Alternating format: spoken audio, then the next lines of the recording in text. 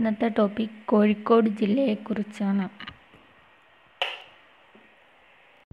ആയിരത്തി തൊള്ളായിരത്തി അൻപത്തി ഏഴ് ജനുവരി ഒന്നിനാണ് കോഴിക്കോട് ജില്ല രൂപീകൃതമായത്.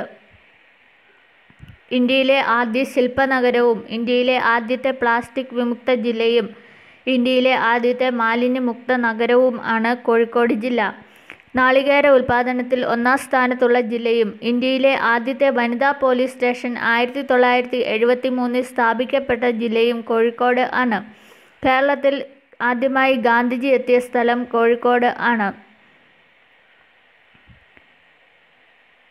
ബ്രിട്ടീഷ് ഭരണകാലത്ത് മലബാർ ജില്ലയുടെ ആസ്ഥാനമായിരുന്നു കോഴിക്കോട് ജില്ല.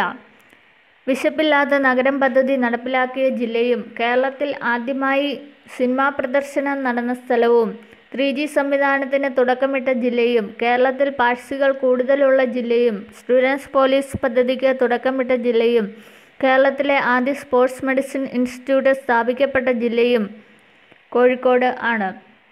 കേരളത്തിലെ ജില്ലകളിൽ ഏറ്റവും കൂടുതൽ ഇരുമ്പ് നിക്ഷേപമുള്ളതും കോഴിക്കോട് ജില്ലയിൽ ആണ്. നല്ലോളം താപനിലയിൽ സ്ഥിതി ചെയ്യുന്നത് കോഴിക്കോട് ജില്ലയിൽ ആണ്. ഓട് വ്യവസായത്തിന് പ്രസിദ്ധമായ ഫറോക്ക് കോഴിക്കോട് ജില്ലയിൽ ആണ്. പ്രാചീന കാലത്ത് ത്രിവിക്രമപുരം എന്നാണ് കോഴിക്കോട് അറിയപ്പെട്ടിരുന്നത്. അറബികൾ വിളിച്ചിരുന്ന കാലിക്കുത്ത് എന്ന് ആണ്. കടൽമാർഗം ഇന്ത്യയിലെത്തിയ ആദ്യ യൂറോപ്യൻ സഞ്ചാരിയായിരുന്നു വാസ്കോഡ് ഗാമ. ആയിരത്തി നാനൂറ്റി തൊണ്ണൂറ്റി എട്ടിൽ കാപ്പാട് ആണ് കപ്പൽ വന്നിറങ്ങിയത് എ ഡി ആയിരത്തി അഞ്ഞൂറ്റി പത്തിൽ കോഴിക്കോടെത്തിയ നാവികനാണ് കബ്രാൾ. എ ഡി ആയിരത്തി അഞ്ഞൂറ്റി പത്തിൽ സാമൂതിരിയും പോർച്ചുഗീസുകാരും തമ്മിൽ നടന്ന യുദ്ധം ആണ് കോഴിക്കോട് യുദ്ധം.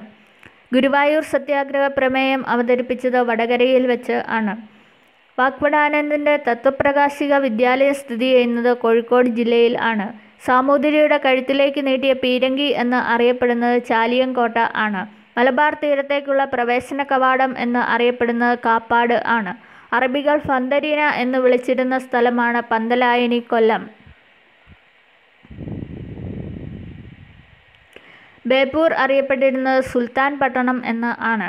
കടത്തനാടൻ രാജവംശം ഭരണം നടത്തിയത് വടകരയിൽ ആണ്.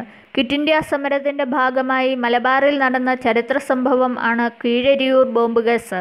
ആയിരത്തി തൊള്ളായിരത്തി നാൽപ്പത്തി രണ്ടിലാണ് ഇത് നടന്നത്. മലബാർ പ്രദേശത്തെ ടിപ്പുവിന്റെ ആസ്ഥാനമാണ് ഫറോക്ക്. വടക്കൻ പാട്ടുകളിലെ വീരേതിഹാസമായിരുന്ന തച്ചോളി ഉദയനന്റെ ജന്മസ്ഥലമാണ് വടകര.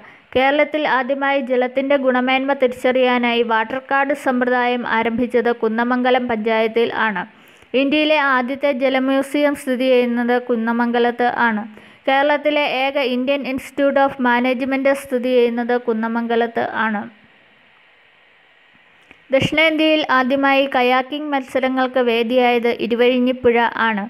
രാജ്യത്തെ സമ്പൂർണ അവയവ നേത്രദാന ഗ്രാമമാണ് ചെറുകുളത്തൂർ. കേരളത്തിലെ ആദ്യ ബാങ്കായ നെടുങ്ങാടി ബാങ്ക് ആയിരത്തി എണ്ണൂറ്റി തൊണ്ണൂറ്റി മൂന്നിൽ സ്ഥാപിക്കപ്പെട്ടത് കോഴിക്കോട് ജില്ലയിൽ ആണ്. ഇന്ത്യയിലെ രണ്ടാമത്തെ ക്രാഫ്റ്റ് വില്ലേജ് ആണ് ഇരിങ്ങൽ ക്രാഫ്റ്റ് വില്ലേജ്. ഇത് കോഴിക്കോട് ആണ്. കുഞ്ഞാലി മരക്കാർ മ്യൂസിയം സ്ഥിതി ചെയ്യുന്നത് കോട്ടക്കലിൽ ആണ്. ഒലിവ് റില്ലി കടലാമകളെ സംരക്ഷിക്കുന്ന സ്ഥലമാണ് കൊളാവി പാലം കേരളത്തിലെ രണ്ടാമത്തെ മുതല വളർത്തൽ കേന്ദ്രമാണ് പെരുവണ്ണാമുടി. രാജ്യത്തെ ആദ്യ കപ്പൽ രൂപകൽപ്പന കേന്ദ്രമായ നിർദ്ദേശക് സ്ഥിതി ചെയ്യുന്നത് ചാലിയത്ത് ആണ്. സമ്പൂർണ ആരോഗ്യ പദ്ധതിയായ ആയുർദളം നടപ്പിലാക്കിയത് കുത്തോളി പഞ്ചായത്തിൽ ആണ്. ഇന്ത്യയിലെ ആദ്യ പുകയില വിമുക്ത ഗ്രാമമാണ് കൂളിമാട്. സംസ്ഥാനത്തെ ആദ്യ ഖാദി ഗ്രാമമായി പ്രഖ്യാപിക്കപ്പെട്ടത് പനങ്ങാട് ആണ്. ഐ എസ് ഒ സർട്ടിഫിക്കറ്റ് കരസ്ഥമാക്കിയ ആദ്യ പോലീസ് സ്റ്റേഷനാണ് കോഴിക്കോട് ടൗൺ പോലീസ് സ്റ്റേഷൻ. ആയിരത്തി തൊള്ളായിരത്തി തൊണ്ണൂറ്റിയൊന്നിൽ കേരളത്തെ സമ്പൂർണ സാക്ഷരത നേടിയ സംസ്ഥാനമായി പ്രഖ്യാപിച്ചത് മുതലക്കുളത്ത് വെച്ച് ആണ്. മലബാർ വന്യജീവി സങ്കേതത്തിന്റെ ആസ്ഥാനം പെരുവണ്ണാമുഴി ആണ്. ശാസ്ത്ര സാഹിത്യ പരിഷത്ത് രൂപം കൊണ്ടത് കോഴിക്കോട് ജില്ലയിൽ ആണ്. ആയിരത്തി തൊള്ളായിരത്തി അറുപത്തി രണ്ടിൽ ആണ്.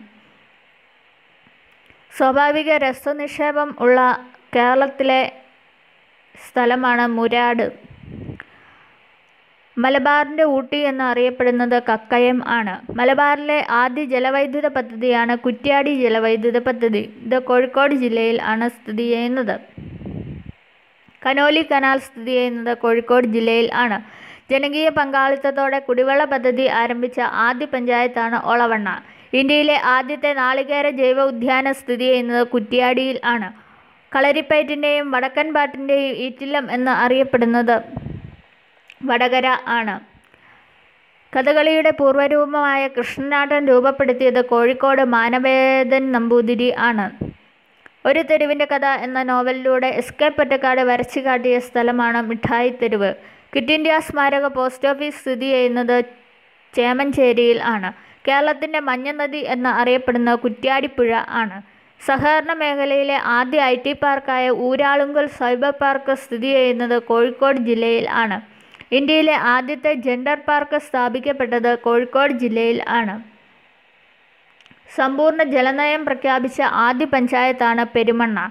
കേരളത്തിൽ ആദ്യമായി ചിക്കൻ ഗുനിയ രോഗം റിപ്പോർട്ട് ചെയ്തത് ഒളവണ്ണയിൽ ആണ്. രേവതി പട്ടത്താനം എന്ന വിദ്വത്സദസ്സിന് വേദിയാകുന്നത് തളി ക്ഷേത്രം സ്ഥിതി ചെയ്യുന്നത് കോഴിക്കോട് ജില്ലയിൽ ആണ്.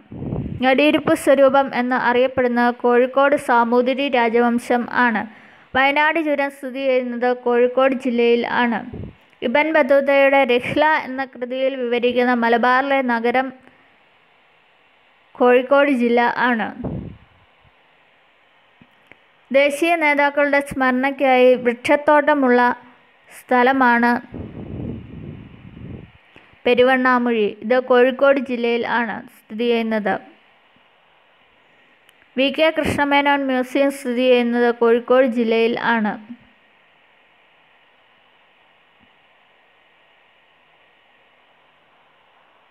കേരള സ്റ്റേറ്റ് കോപ്പറേറ്റീവ് മാർക്കറ്റിംഗ് ഫെഡറേഷന്റെ ആസ്ഥാനം കോഴിക്കോട് ജില്ല ആണ്.